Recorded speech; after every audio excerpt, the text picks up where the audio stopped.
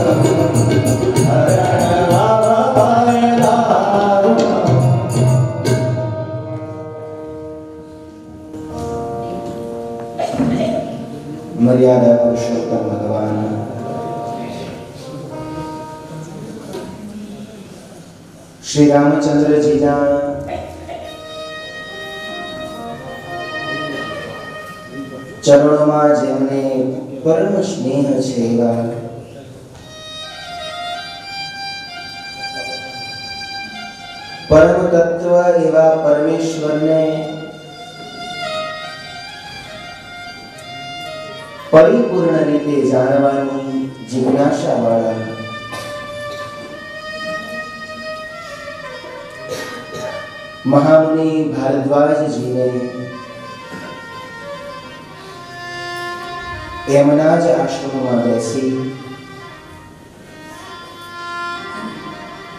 યાજ્ઞવલ્ક્ય મહારાજ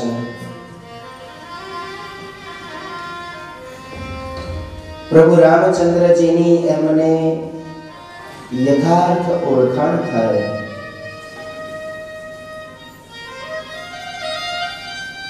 મનુષ્ય રૂપ ધારણ કરી રહેલા પરમાત્મા અને મનુષ્ય રૂપને ધારણ કરી રહેલા જીવ. આ બે વચ્ચેનો ભેદ પરખાય એટલા માટે. એ પરમાત્માના મંગલકારી માનુષિક ચરિત્રોની કથાઓ.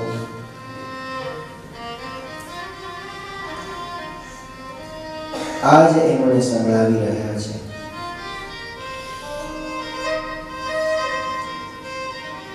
વળી સંભળાવતા બહુ સ્પષ્ટ શબ્દોમાં એમ કહ્યું છે કે જે કથા હું તમને સંભળાવું છું, એ કથા મારી નથી. જે કથા શિવજીએ કૈલાસના શ્વેત ધવલ શિખરો ઉપરમાં જગદંબા ભવાનીને સંભળાવી હતી ને, એ જ કથા હું તમને કહું છું.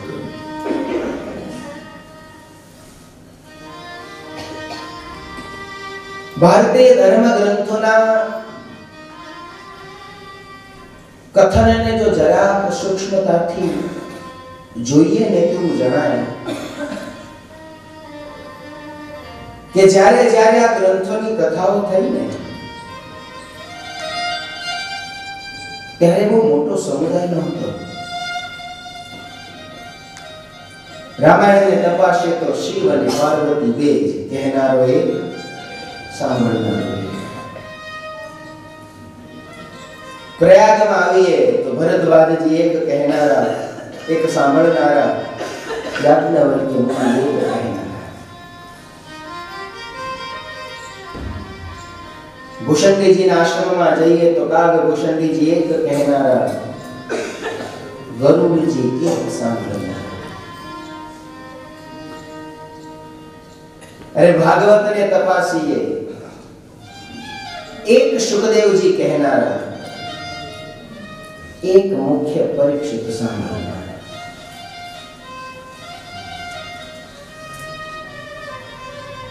આનો એક સહજથી જ થાય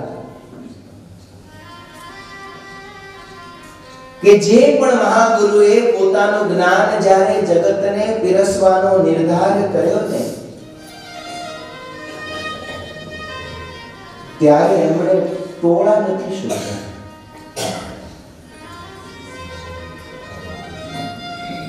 કે પાંચ માણસ હોય કે પચાસ માણસ હોય કે બસો માણસ હોય તો જ હું કથા સંભળાવું એવું નથી કહ્યું એક મળે પણ સાચો મળે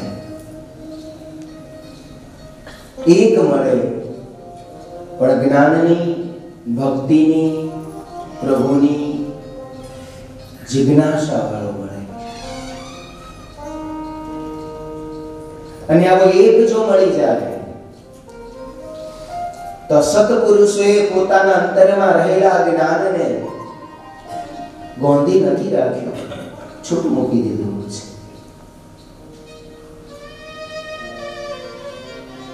વૈષ્ણવમાં ચોર્યાસી બેઠકો છે. વલ્ભાચાર્યજી આ ચોર્યાસી સ્થાનોમાં ભાગવતની કથા કરી. અને બધી જગ્યાએ એક સાચો વૈષ્ણવ સાંભળનાર અને એક કથા કહેનાર. એક નહીં, ચોર્યાસી. આખા ભારતમાં જ્ઞાન માટે અંતરમાં સાચી તરફ લાગે. પ્રભુની પ્રાપ્તિ માટે અંતરમાં સાચી જિજ્ઞાસા જાગે. અને આવો એક સાચો જિજ્ઞાસુ શિષ્ય મળી જાય તો ગુરુએ પોતાના જ્ઞાનના ભંડારને એવા એક શિષ્ય માટે ખુલ્લા મૂકી દીધા છે. હા, પછી જ્ઞાનની ગંગા વહીને પછીમાં બીજા હજારોએ પોતાનું મતિ, પોતાની સમજણ, પોતાની શ્રદ્ધા પ્રમાણે માંથી પોતે પાવલું પોતે ખોગો પાન કર્યું. પડા ગંગા વહી તો એક સાચા જિજ્ઞાસુ માટે. આ જેવા પ્રભુ કથામાં પરમ પ્રીતિ વાળા ભરદ્વાજ મુનિને ભગવાન રામચંદ્રજીના વનવાસની કથાઓ સંભળાવતા યાજ્ઞવલ્કે મહારાજ કહે છે કે મુનિ, નિષ્કામ ભક્ત એવા કેવટની ભક્તિને પોષિત કરી, આશીર્વાદિત કરી પ્રભુ ત્યાંથી આગળ ચાલ્યા છે. યમુનાજીમાં સ્નાન કર્યું છે. ગુગુ પણ પરમાત્માએ પોતાની સાથે આવવાની ના પાડી હતી ને? એટલે બીજા માર્ગે ગંગાના સામા કિનારે આવીને ઊભા છે. પ્રભુને કહ્યું છે, પ્રભુ, મને જ્યાં સુધી હું તમને સુરક્ષિત ન છોડું, વનમાં ભટકતા તમને મૂકીને હું પાછો જાઉં, તો તો મારી મિત્રતા ના છે. પ્રભુએ ગુગુને સાથે લીધા છે. યમુનાજીમાં સ્નાન કરી યમુનાજીનો મહિમા કરી, ગુગુને ત્યાંથી પરત મોકલ્યા છે. અને ત્યાંથી પ્રભુ વળી આગળ ચાલ્યા છે. હવે ત્રણ જ જણા અત્યાર સુધીની યાત્રા અયોધ્યાથી ગંગાના કિનારા સુધી પ્રભુ સુમંત રથમાં મૂકી ગયો. ત્યાંથી પરમાત્મા ગંગા પાર આ કેવટની નાવમાં આવ્યા. પણ હવેની યાત્રા પ્રભુની પેદલ ચાલી રહી છે. વનમાં કોઈ રસ્તો ખબર નથી, કોઈ મળે તો રસ્તો પૂછે, ક્યાં જવું છે એ લક્ષ્ય પણ નક્કી નથી. હજી તો સ્થાન શોધે છે કે ચૌદ વર્ષ વનમાં રહેવું છે, તો કોઈ સારું સ્થાન શોધી અને રહી વનમાં ક્યાં સારું સ્થાન મળે તેની શોધમાં અને વળી વનમાં મોટા મોટા તપસ્વી ઋષિમુનિઓ જો તપશ્ચર્યા, સાધના કરતા હોય, તો એમનું દર્શન પણ થાય એવી પણ અંતરમાં એક લાલસા છે. આથી કોઈ પણ જાતનું લક્ષ્ય નિર્ધારિત કર્યા વિના ચાલ્યા જાય છે. આગળ પ્રભુ ચાલે છે, એમની પાછળમાં સીતા અને એમની પાછળ લક્ષ્મણજી ચૌદ વર્ષ સુધી પરમાત્મા વનમાં ફર્યા ને ક્રમ આ હતો. પરમાત્મા આગળ રહ્યા. સીતાજી પાછળ, લક્ષ્મણજી તેમની પાછળ. આ પરમાત્માના ક્રમને આધ્યાત્મિક દ્રષ્ટિએ જ્ઞાની પુરુષોએ ઘણી જુદી જુદી રીતે જોયો. પ્રભુ એટલે આગળ ચાલ્યા કારણ કે પરમાત્મા છે એ કોઈને આધીન નથી, પરમાત્મા સ્વતંત્ર છે. એટલે પ્રભુ આગળ ચાલે છે. સીતા છે, જગદંબા છે, એટલે શાસ્ત્રની પરિભાષામાં એ માયા છે. માયા છે ને ઈશ્વરને આધીન છે. ઈશ્વર માયાને આધીન નથી. એટલે સીતાજી એમની પાછળ ચાલે છે. લક્ષ્મણજી છે, સેવક છે, રક્ષક છે અને જીવ છે. સેવક પણ હંમેશા સ્વામીની પાછળ રહેવું જોઈએ. રક્ષક પણ હંમેશા પાછળ રહેવું જોઈએ. અને વળી જીવ છે એટલે જીવ માયાને આધીન છે. ઈશ્વર અને જીવ આ બેની વચ્ચે માયા છે. આ ક્રમ પ્રમાણે દરરોજ ચાલે ને લક્ષ્મણજીને પ્રભુના દર્શન કરવા હોય, પણ દર્શન થાય નહીં કેમ? તો કે સીતાજી આગળ આવે. જીવને પણ પરમાત્માના દર્શન કરવા હોય છે, પણ જીવને પણ માયા આડી આવે. માયા વચ્ચે છે એટલે જીવને પરમાત્માનું દર્શન થઈ શકતું નથી. પરમાત્મા સુધી પહોંચી શકતો નથી. હવે માયાને હટાવી શકવી અશક્ય છે. કોઈ એમ માને કે માયા હટી જાય તો હું ભગવાનને પામી લઉં. પણ રામ અને લક્ષ્મણની વચમાં રહેલા સીતા એને હટાવી શકાય નહીં. હટી જાય તો તો રામાયણ પૂરી થઈ જાય એમ માયા છે કે આ જગતનું ચાલક બળ છે. માયા વગર આ સંસાર ચાલી શકે એમ જ નથી. માયાને હટાવવી શક્ય નથી. તો જીવને જ્યારે પરમેશ્વરના દર્શનની લાલચ જાગે ત્યારે લક્ષ્મણને સરસ ઉપાય કરતા. ચાલે જતા હોય ને, લક્ષ્મણજી પ્રભુને પોકાર કરે. પ્રભુ, ભગવાન પાછું વળીને જોવે. પ્રભુ જ્યારે પાછું વળીને જોવે, ત્યારે લક્ષ્મણજી જરાક ડાબી બાજુ જતા રહે, ક્યારેક જરાક જમણી બાજુ જતા રહે ને જરાક ટોકી વાંકી ચોકી કરી અને પ્રભુનું દર્શન કરી લે બસ જીવનની આ જ નીતિ છે. માયાને સંપૂર્ણપણે મિટાવી દેવી અશક્ય છે. ખાસ કરીને ગ્રહસ્થાશ્રમી માટે. સંસારમાં રહેનારા માટે માયાને ટાળી જ દેવી. અઘરી છે. તો પણ માયા વચ્ચે છે ને મને પ્રભુના દર્શન થશે જ નહીં. આમ માની નિરાશ થઈ અને પરમાત્માનો માર્ગ છોડી દેવો, એ પણ યોગ્ય નહીં. તો કરવું શું? માયાને માયાની જગ્યાએ રાખી અને તોય કંઈક ઉપાય કરી અને પ્રભુ સુધી પહોંચવાના દાખલા કર્યા આ માયા મટેલી નથી. એક માણસ દરિયા કિનારે બેઠો હતો. રૂમાલ લઈને બેઠો હતો. મહાત્માજી સવારે ત્યાંથી નીકળ્યા, ત્યારે બેઠો હતો સાંજે પાછા આવ્યા તોય બેઠો. હતો મહાત્માજી કે, ભાઈ, શું કરવા બેઠો છે? મહારાજ, મારે દરિયામાં નાવું છે. તો મહારાજ કે, દરિયામાં નાવું છે તો સવારનો બેસી શું રહ્યો છે? નહીં લેને? પણ મહારાજ, આ મોજા આવે છે. આ મોજા આવતા બંધ થાય તો ન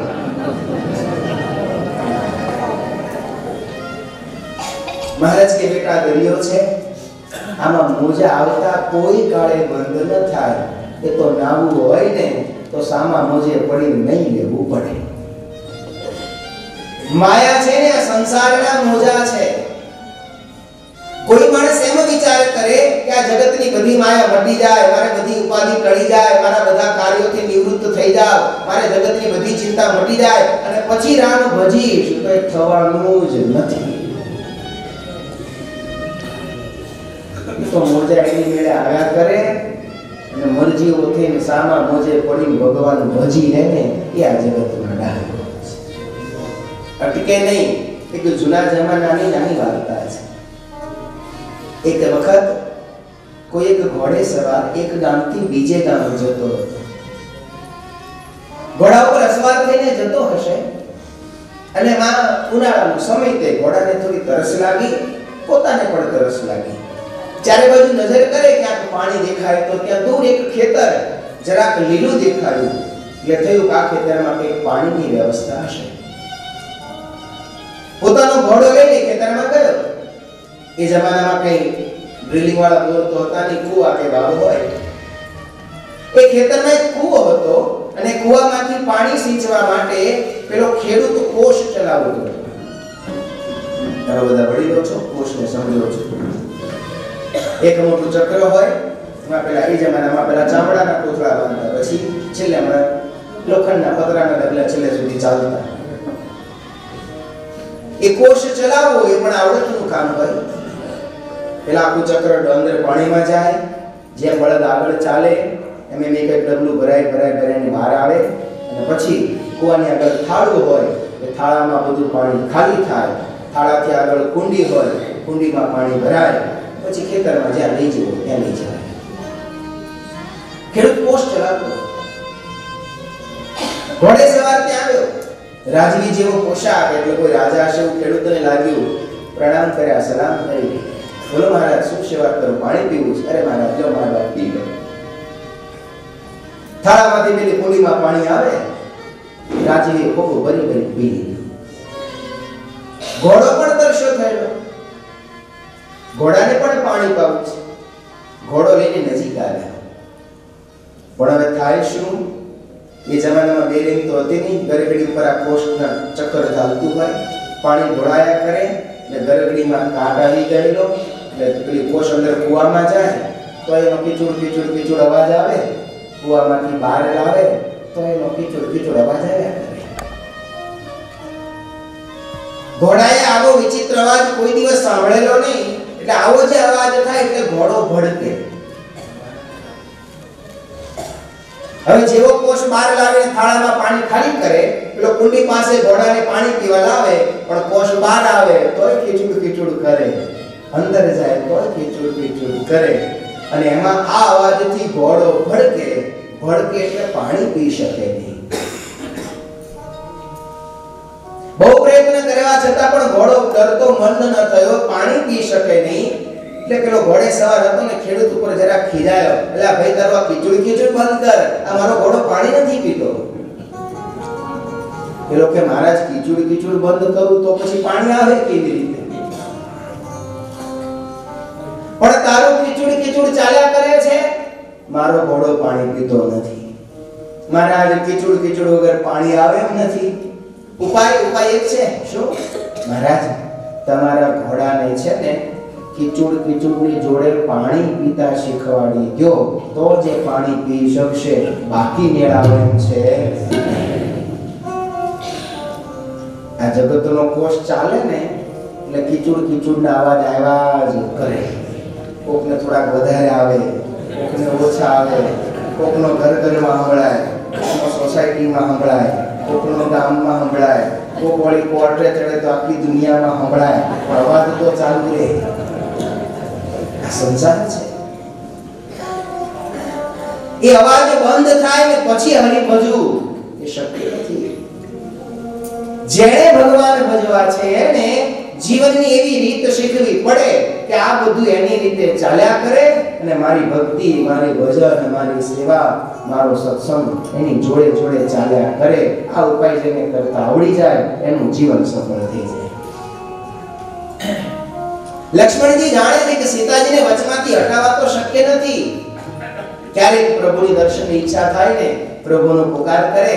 જરાક ડાબી બાજુ જોવે જરાક જમણી બાજુ જોવે, એમ કરતા પ્રભુના દર્શન કરતા જાય, આગળ ચાલ્યા જાય, આગળ ચાલ્યા જાય. આમ કરતા પ્રભુ તીર્થરાજ પ્રયાગમાં આવ્યા છે. પ્રયાગમાં ભરદ્વાજ મુનિની યાજ્ઞવલ્ક્ય મુનિ કહે છે, હે મુનિ, તમને યાદ જ હશે કે પ્રભુ આજ તમારા આશ્રમમાં આવ્યા છે. જે આશ્રમમાં ભાગવત, આ રામાયણની કથા યજ્ઞવલ્કી મુનિ સંભળાવે છે, એ જ સ્થાનમાં પ્રભુ ભરદ્વાજ મુનિ પાસે આવ્યા છે. મુનિએ ભાવથી પ્રભુને આવકાર્યા છે, સુંદર આસન આપીને પ્રભુને બેસાડ્યા છે, રાખ્યા છે. ત્રિવેણી સંગમમાં વિધિપૂર્વક પ્રભુને સ્નાન કરાવ્યું છે. પ્રયાગ તીર્થનો ઉત્તમ મહિમા ભરદ્વાજ મુનિએ પ્રભુને કહી સંભળાવ્યો છે. પછી પરમાત્માએ મુનિ ભરદ્વાજને હાથ જોડી અને કહ્યું છે કે અમારે વનમાં આગળ જવું છે, અમને અહીંથી આગળનો રસ્તો બતાવો. વારંવાર કહું છું કે માનસ બહુ ગૂઢ ગ્રંથ છે. પરમાત્માને અનેક મહાત્માઓ મળ્યા.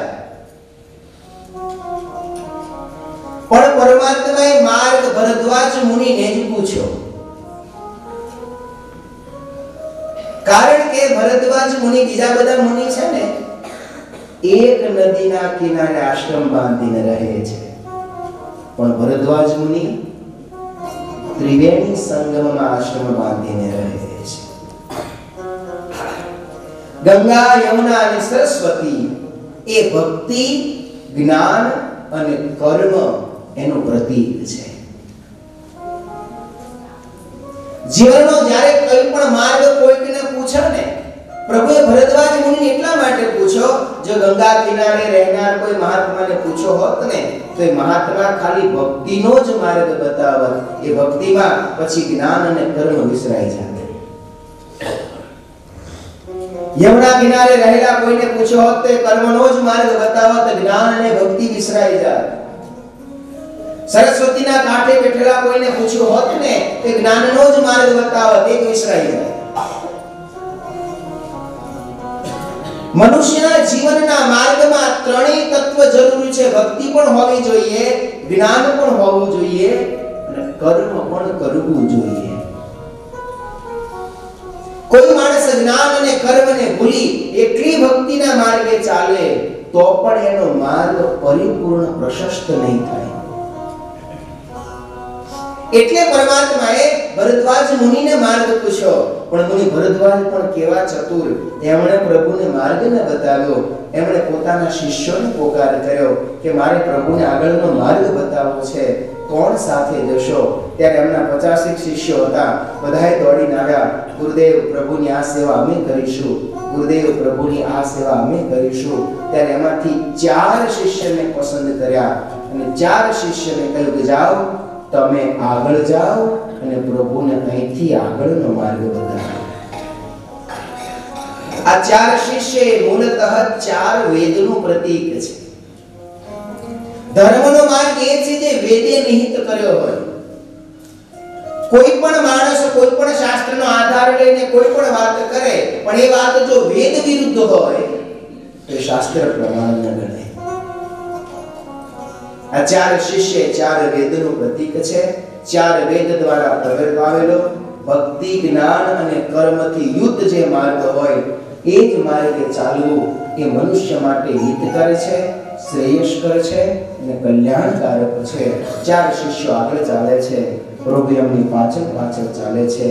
આમ કહેતા, વનમાં રોકાતા રોકાતા, વનના ગહનતામાં શિષ્યોને પાછા મોકલી લક્ષ્મણજી, જ્યાં પ્રભુ રાત રોકાય ત્યાં થોડી પ્રભુ સુરક્ષિત રહી શકે એવું સ્થાન બનાવે. સીતાજી ને પ્રભુ ત્યાં રોકાય. વન સારું હોય તો બે દિવસ, ત્રણ દિવસ રોકાય. આનંદ થાય. વનમાં રહેનારા ભીલો, વનમાં રહેનારા બધા પશુઓ, એ પણ પ્રભુને જોઈ અને આનંદ પામે છે.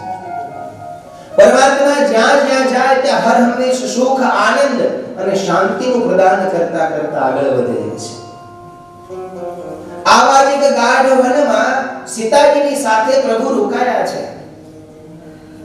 પણ એ સમયે એક ઘટના ઘટી છે. રોજ સવારે સીતાજી પાણી ભરવા જાય. હવે ત્યાં વહેણ નદીનું વહેણ હતું, પણ આ નદીનું વહેણ સુકાઈ ગયેલું એટલે નદીની અંદર ખાડો કર્યો અને વીરડો કહેવાય નદીમાં ખાડો કરે, પછી એમાં થોડું થોડું પાણી આવે, એટલે નાનું વાટકી કે નાની તાંસળી કે છાલી રાખી ઉલેચી ઉલેચી અને પછી પોતાના બેડા બહેનો નદીના એ એમાંથી ભરે. આવી એક સુકાયેલી નદીમાં વીરડો હતો. અને સીતાજી સ્વયં એમાં પાણી ભરવા ગયા, એટલે વીરડામાં પોતે નીચે ઉતર્યા, પોતાનું પાત્ર બહાર મૂકી અને જાતે ઉલેચી ઉલેચી અને એમાં પાણી ભરે છે.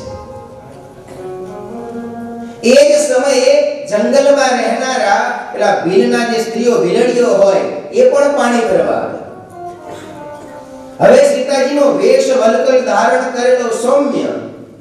પણ તોય ભીલડીઓને સીતાજીને જોતા ખબર પડી કે આ સ્ત્રી કોઈ સામાન્ય નથી, જરૂર કોઈ ઉચ્ચ કુળની આ સ્ત્રી છે.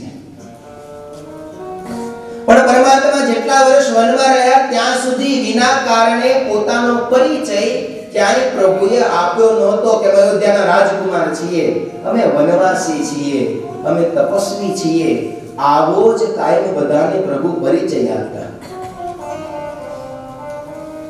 સીતાજી પણ હું વનવાસી છું એવો જ પરિચય પેલી ભીલડીઓને આપેલો. આ બધી ભીલની સ્ત્રીઓ પાણી ભરવા આવી સીતાજી અંદર વેડામાં ઉતર્યા છે. સીતાજી કહ્યું, લાવો, તમારા બેડા હું જ ભરી આપો. હું બહાર આવું, તમે અંદર ઉતરો. આ પાણી બધું ઉલેચીને લાવો એની કરતા લાવો. હું તમારા બેડા ભરી આપું. પેલી સ્ત્રીઓ કહે છે, ના ના ના, અમારે તમને, તમારી પાસે અમારે શું કામ મહેનત કરાવે તમારા બેડા અમારે ભરી આપવા જોઈએ. ત્યારે સીતાજીએ જવાબ બહુ સરસ આપ્યો, આપણે બધાએ વનમાં રહેનારા છીએ. અહીંયા કોઈ નાનું નથી, અહીંયા કોઈ મોટું નથી. પેલી ભીડની સ્ત્રીઓના મનમાં સંકોચ થાય, સીતાજીએ સામેથી બેડા ખેંચી, જાતે ઉલેચી ઉલેચી, અને એમના બેડા ભરી આપ્યા. આવા ઉચ્ચ કુળની સ્ત્રીને આવો પ્રેમ ભાવ વાળા જોઈ એમના અંતરમાં અતિ ભાવ જાગ્યો. પૂછું ના, તમે કહો, કોણ છો? સીતાજીએ પરિચયને આપ્યો. દૂર રામ અને લક્ષ્મણ બેઠા છે. પેલી સ્ત્રીએ પૂછ્યું, તમે તમારો પરિચય આપો તો આમનો પરિચય આપો છે કોણ? અતિ આગ્રહ કરે ત્યારે સીતાજીએ સૌથી પહેલા લક્ષ્મણજીનો પરિચય આપ્યો તો દૂર બેઠા છે વિરાસન વાળી બેઠા છે. એ મારા દિયર છે. આ બાજુમાં તેજસ્વી શ્યામ મૂર્તિ છે, કોણ છે? સીતાજીએ શરમાતા શરમાતા કહ્યું કે અમારા પતિ છે. અને ત્યારે ભીલડીઓને પ્રતિનિધિતા જરૂર કોઈ રાજકુળના સ્ત્રી છે. પછી તો તપાસ કરતા ખબર પડી કહો આ તો અયોધ્યાના થનારા મહારાણી સીતા છે. આ વાતની ખબર જ્યારે વીર સ્ત્રીઓને પડીને એમના અંતરમાં એટલો બધો ભાવ થયો. એ વીરની સ્ત્રીઓનું અંતર ગદગદ થયું. અને ગદગદ થતા એ વીરની સ્ત્રીઓની આંખમાં આંસુ આવ્યા. મનમાં થયું કહો અયોધ્યાના મહારાણી આજ વનમાં રહે અને વનમાં રહી અને અમારા જેવા પામર સ્ત્રીઓના પાણીના બેડા ઉલેચી ઉલેચીને ભરે છે. કેટલું ઉત્તમ આનું ચારિત્ર્ય છે. કેટલું નિરાભિમાન આનું જીવન છે. એ ભીલની સ્ત્રીઓનું અંતર ઠર્યું. એ ભીલની સ્ત્રીઓએ સીતાજીના મસ્તક ઉપર હાથ મૂક્યા અને મસ્તક ઉપર હાથ મૂકી અને વનમાં રહેનારી એ ભીલની સ્ત્રીઓએ સીતાજીને આશીર્વાદ આપ્યા. સદા સુહાગન હોઈ તુમ.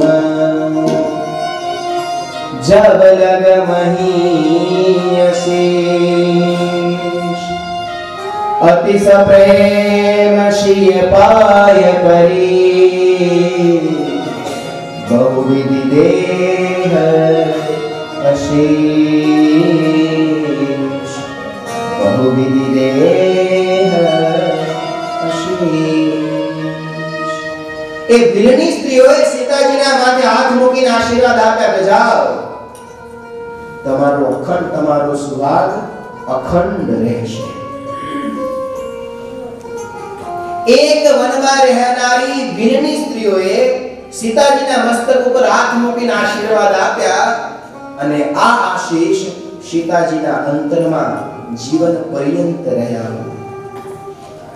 જે દિવસે સીતાજીને રાવણ અશોક વાટિકામાં રાખ્યા દરરોજ આવીને સીતાજીને ડરાવે મારી સાથે લગ્ન કરી લે, રામ તને બચાવવા નહીં આવે, બચાવવા આવશે તો તું મારી વિશાળ સેનાને, મારી તાકાતને જોઈ લે, જીવતા નહીં રહે.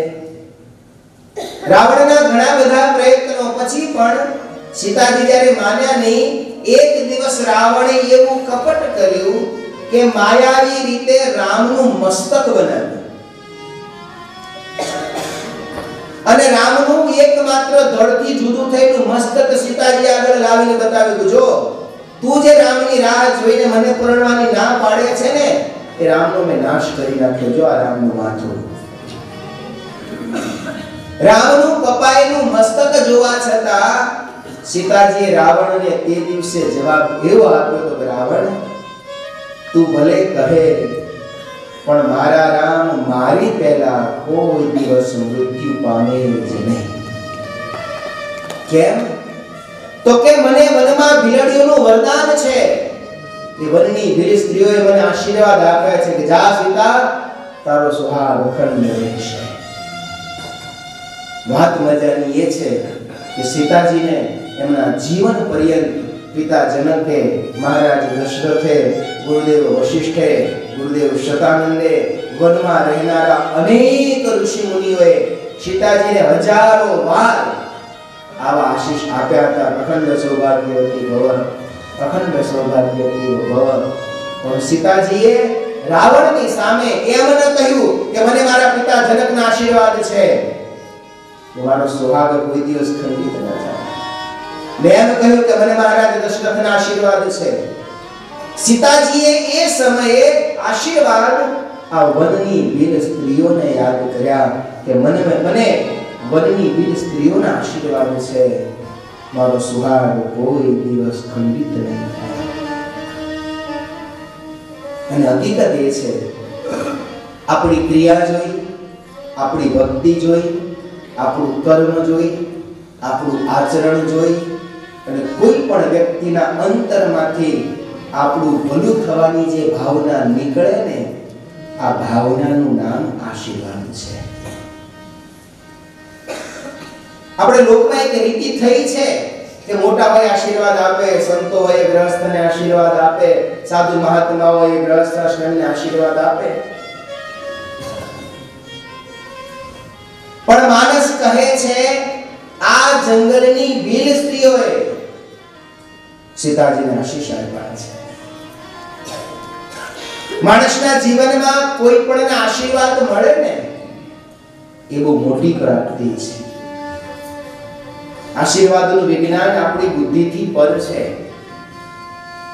કોઈ પણ મહાપુરુષનો આપણા ઉપર રાજી થઈ જાય, ઘરના વડીલોનો મા બાપનો કોઈ પણ એક મનુષ્યનો, એક નાનો સામાન્ય ગરીબ હોય, કોઈ બ્રાહ્મણ હોય, કોઈ દુખિયારો હોય અને એનું અંતર રાજી થાય, એવું કાર્ય આપણાથી થાય. અને એ વખતે એના અંતરમાંથી આપણું ભલું થવાનો જે ભાવ જાગે ને, આનું નામ જ સાચા આશીર્વાદ છે. સહેજે મળે. આપણે માગીએ, અને જે મળે, આ આશ્વાસન કહેવાય. લોક વ્યવહાર છે. અમે ક્યારેક તમને આશીર્વાદ આપજો તમે આવી નવી કથા કર્યા કરીએ લોકોની સેવા કર્યા કરીએ. તમે હારા દાડે આવો, સ્વામી આશીર્વાદ આપજો, અમારું સારું થાય. એકબીજાનું આપણે સારું ઈચ્છીએ આને સદભાવ કહેવાય. અમે ઈચ્છીએ કે તમારું સારું થાય. આપણે ઈચ્છીએ કે આ ભાઈ હાજો થઈ જાય. કોઈનું કામ અટક્યું તો ભગવાન સારું કરે. આમ એકબીજા પ્રત્યે આપણે આપણી શુભ ભાવનાઓ વ્યક્ત કરીએ. કોઈનું સારું થવા માટે આપણે પ્રભુને પ્રાર્થના કરીએ પ્રભુ, આ ભક્તનું જરાક કંઈક અટક્યું છે તો તમે સારું કરજો. પણ આશીર્વાદ આ બધાથી ઉપર છે. આશીર્વાદ એ તત્વ છે કે જે માંગવું નથી પડતું. એ તો આપણા જીવનમાં આપણા કર્મો દ્વારા સહેજે સહેજે પ્રાપ્ત થઈ જાય છે. ઘણા બધા આશીર્વાદ એવા હોય કે જે બોલાયા પણ ન હોય મળી ગયા હોય. બોલ્યો ન હોય. આપણું કંઈક એવું કાર્ય હોય, એ કોઈક બીજો જોતો હોય, અને એનું અંતર જોયું વાહ, આ ભાઈ કેવો સારો છે. કેવું સરસ કાર્ય કરે છે. અને જેને સારા કામ કરવા છે, એને બહુ ગોતવા નથી જવું પડતું, હો. કેવા કેવા માણસો, બે વર્ષ પહેલા અમારા સંતો અમદાવાદથી છપૈયા ચાલતા ગયા ત્યાં દર વખતે સંતો ઘણા જાય? નામ નહીં તો પણ એક સ્વામી નક્કી કરેલું અમદાવાદથી છપૈયા ચાલતા જવું। રસ્તામાં જેટલા પ્રકારે ટ્રકો બગડી હોય, એ ટ્રકો વાળા પેલા પથરા મૂક્યા હોય, પછી લે કોઈ નહીં. ટ્રક રિપેર થઈ લઈને જતા રહે, પછી જે જાડી રાખડા મૂક્યા હોય, પથરા મૂક્યા હોય, એ મેન ઉપરથી કોઈ હટાવે નહીં. એમણે નક્કી કર્યું, અમદાવાદથી છપૈયા ચાલતા જવું તો શું કિલોમીટર થાય? રોજ ચાલીસ કિલોમીટર ચાલવું. રસ્તામાં જેટલા પથરા દેખાય, ઉપાડી ઉપાડીને બાજુમાં નાખતા જેને સારું કામ કરવું જ હોય એને કંઈ ગોતવું નથી પડતું. અને આવી નાની નાની જ આ- આશીર્વાદ મેળવવા માટે કઈ બહુ મોટા તપ નથી કરવા પડતા આવું કંઈક આપણા જીવનનું નાનું કાર્ય આપણે કરીએ અને એમાં કોઈ તો જોઈ જાય. અને એ વખતે એનું અંતર ઠરે અને એના અંતરમાંથી સદભાવ જાગે એની આશીર્વાદ. અને આવા આશીર્વાદ જીવનમાં જેને મળી જાય. એના જીવનના બીજા બધા સાધનાના રસ્તા ટૂંકા થઈ જાય. એક આશીર્વાદથી એ સહેજે સહેજે એના જીવનની બધી સફળતાઓનો માણસ પામી આશીર્વાદ મેળવવા માટે પાત્રતા મેળવવી પડે આપણી મુશ્કેલી એ છે, આપણે માંગીએ છીએ. કદાચ ભગવાન આપે પણ છે. પણ આપણામાં પાત્રતા ન હોય ને ટકે નહીં. બહુ સાદું દ્રષ્ટાંત સંતો આપે છે વરસાદ પડે પથરા ઉપર એટલો જ પડે છે, દરિયામાં પણ એટલો જ પડે છે, તળાવમાં પણ એટલો જ પડે છે, ગામોમાં પણ એટલો જ પડે છે. પણ પર્વત ઉપર વરસાદ પડે છે, પણ પાણી બધું નીચે ઉતરી જાય. ભેગું ક્યાં થાય? સરોવર હોય, તળાવ હોય, ખાડો હોય, ખાબોચિયું હોય, ત્યાં. વરસાદ છે ને પ્રભુની કૃપા છે, ભગવાનના આશીષ છે. એ નિત્ય નિરંતર સદા સર્વદા આપણા ઉપર વહ્યા જ કરે, પણ આપણી પાત્રતા ન હોય. ભગવાન બુદ્ધના જીવનની એક નાની કથા છે. ભગવાન બુદ્ધ પોતાના શિષ્યો સાથે ગામ ગામ ફરતા હતા. ભગવાને બધું ફરતા ફરતા કાશી, બનારસ આવ્યા. ગામની બહાર રોકાયા. દરરોજ રીતે સુંદર ઉપદેશ કરે, સત્સંગ કરે. ગામના સૌ લોકો સમાગમ કરવા, સત્સંગ સાંભળવા, જ્ઞાન પ્રાપ્ત કરવા, ભગવાન બુદ્ધના દર્શન કરવા આવે. આજે કાશીના એક નગર શેઠ આખા નગરનો સૌથી સુખી સંપન્ન માણસ. એ પણ ભગવાન બુદ્ધના દર્શને સત્સંગ પૂરો થાય ઊભા થઈ હાથ જોડી ભગવાન બુદ્ધને પ્રાર્થના કરી, પ્રભુ મારી પર કૃપા કરો, મારી પર દયા કરો અને આવતીકાલે તમે મારે ઘેર ભિક્ષા માંગવા માટે પધારો. એ લોકો એને જેવો એવો શબ્દ વાપરે મારા ઘેર ભિક્ષા માટે પધારો. ભગવાન બધું કે સારું, કાલ તમારે ઘરે આવીશું. નગર શેઠને ઘેર કાલે ભગવાન બુદ્ધ ભિક્ષા માંગવા આવવાના છે. મનમાં થયું કે ભગવાન બુદ્ધને હું શું જમાડું પણ ત્યાં તો ખબર પડી કે ભગવાન બુદ્ધ તો એક પાત્રી છે, એક પાત્ર રાખે છે. જે દીક્ષા આપવી હોય એ એમાં જ આપવાની અને એમાંથી જ જમે છે. નગર શેઠ મુજે એક પાત્રમાં તો શું આપવું બહુ વિચાર કર્યા પછી નક્કી કર્યું કે સુંદર મજાનો દૂધપાક બનાવવાનો એક પાત્રમાં આપો એટલે એનો સ્વાદ પણ આવે અને બીજું બહુ મુશ્કેલી પણ ન પડે. આમ નક્કી કરી દૂધપાક તૈયાર કરાવવાનું ચાલુ કર્યું. પણ ભાઈ, આ કાશીના નગર શેઠ જેવો જમાડનારો હોય, ભગવાન બુદ્ધ જેવા મહાપુરુષ સામે ભિક્ષા લેનારા હોય, પછી શું ખામી રાખે? ખૂબ ઉત્તમ પ્રકારનું દૂધપાક કેસર, બદામ ઇલાયચી પિસ્તા, જાયફળ, સુંદર મજાનો દૂધપાક તૈયાર કર્યો. બપોરનો સમય થયો. બધા શિષ્યોની સાથે ભગવાન બુદ્ધ સ્વયં પણ ભિક્ષા માંગવા માટે આવ્યા. એક પછી એક શિષ્ય બધા ભિક્ષા લઈને જાય. ભગવાન બધું સૌથી છેલ્લે આવ્યા અને ભિક્ષા લેહી કરી અને પોતાનું પાત્ર લંબાવ્યું. નગર શેઠના હૃદયમાં આનંદ હતો કે ભગવાન બુદ્ધ જેવા મહાપુરુષ મારે ઘરે ભિક્ષા લેવા પધાર્યા. અતિ આનંદમાં જ્યાં ભગવાન બુદ્ધના પાત્રમાં એ ભિક્ષા આપવા જાય. પણ ત્યાં અટકી ગયા. જોયું તો ભગવાન બુદ્ધના પાત્રમાં થોડોક કાદવ પડ્યો હતો. અરે પ્રભુ આપના પાત્રમાં થોડો કાદવ ક્યાંકથી આવ્યો છે ભગવાન બુદ્ધિ કહ્યું કે ખબર નહીં, ચાલતા આવતા વર્ષ કદાચ કોઈ પશુ નીકળ્યું હશે ઉછળાથી કદાચ ચૂક્યું હશે. પાણી લાવ્યું પાણી લાવી, પાત્ર ધોયું, ભિક્ષા માંગી, શેઠે ભિક્ષા આપી. ભિક્ષા વિધિ પૂર્ણ થયા પછી ઊંચા આસન ઉપર ભગવાન બુદ્ધ બેઠા. અને કાશીના નગર શેઠને ત્યાં ભગવાન બુદ્ધ પધાર્યા હોય, એટલે પછી એના બધા સગા સંબંધી, વેપારી, મહાજન હજારો મનુષ્યોની ભીડ એના આંગણામાં હતી અને આવી સભામાં નગર શેઠ આવ્યા. ભગવાન બુદ્ધના પગમાં માથું ઝુકાવીને પડ્યા. માથું ઝુકાવીને કહ્યું, મહારાજ, પ્રભુ મારી પર દયા કરો. મને આશીર્વાદ આપો. આમ કહીને ભગવાન બુદ્ધના ચરણમાં શેઠ ઝૂકી તો ગયા. પણ ભગવાન બુદ્ધ એક શબ્દ બોલ્યા નહીં. હવે શેઠ મુંજાયા હવે ઊભું થવું કે ન થવું? એટલે વળી નીચે ઝુક્યા ઝુક્યા ફરી બોલ્યા, પ્રભુ, આપના ચરણમાં શીશ ઝુકાવું છું. મને આપનો દાસ જાણી આશીર્વાદ આપો. જાણે ભગવાન બુદ્ધે કંઈ સાંભળ્યું જ ન હોય ને, એમ બીજે દ્રષ્ટિ કરી બેસી રહ્યા.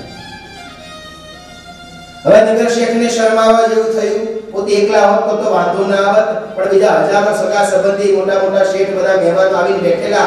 એની વચ્ચે પગમાં માથું ઝુકાવીને શેઠ પડ્યા છે. પ્રભુ પાસે આશીર્વાદની માંગણી કરે છે. અને ભગવાન બધું જાણે સાંભળતા જ નથી. ત્રીજી વાર જરાક ઊંચા અવાજે કહ્યું, પ્રભુ, આપના ચરણમાં આપનો દાસ માથું ઝુકાવે છે. કંઈક આશીષ આપો.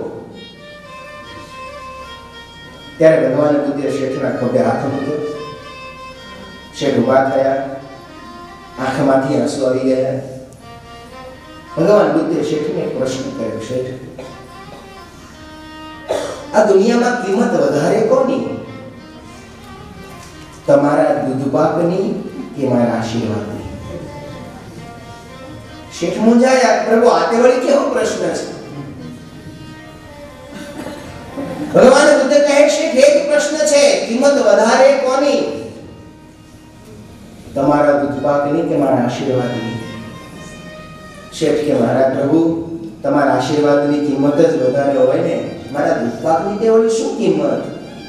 ત્યારે ભગવાન બુદ્ધે જવાબ આપ્યો છે થોડા કીચડવાળા મારા પાત્રમાં જો તું તારું દૂધપાક ન આપી શકે, તો કાદવ કીચડ ભરેલા તારા હૃદયમાં હું મારા આશીર્વાદ આપી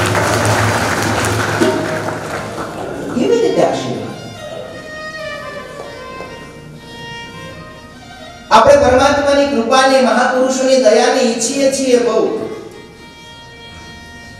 પણ એટલી પાત્રતા કેળવવાનું ચૂકી જઈએ. છે અને બહુ કડવી વાત તો એ છે કે આપણને બધાને મહેનત નથી કરવી, સીધું ફળ જોઈએ છે. બહુ સત્ય વાત છે. આપણે સાધના નથી કરવી. આપણે કોઈ દિવસ ભગવાન પાસે જઈ, મહાપુરુષો પાસે જઈ, સદગુરુ પાસે જઈ, સંત પાસે જઈ અને કોઈ દિવસ આપણે સાધના માંગી જ નહીં. સિદ્ધિ જ માંગી. મારા આશીર્વાદ આપો, મારું હાલું થઈ જાય. આપણે કોઈ દિવસ એવું ન કહ્યું કે મને કંઈક એવો રસ્તો બતાવો કે મારું સારું થાય. તમે કહો તો રોજ પાંચ માળા વધારે કરું. તમે કહો તો રોજ અડધો કલાક મંદિરે જઈને સેવા કરું. તમે કહો તો દરરોજ રાત્રે સૂતા પહેલા પાંચ ભગવાનના નામ લઉં. આવી કંઈક મારા જીવનમાં ભક્તિ, સત્કર્મ અને સદભાવ વધારું. એવું આપણે નથી ઈચ્છતા. આપણે ઈચ્છીએ છીએ, હું જીવન જેવું છું જીવું એવું જીવ્યા કરું, અને તોય ભગવાનની મારા ઉપર કૃપા થઈ જાય, તમે આશીર્વાદ આપો, એટલે બધું મારું મારું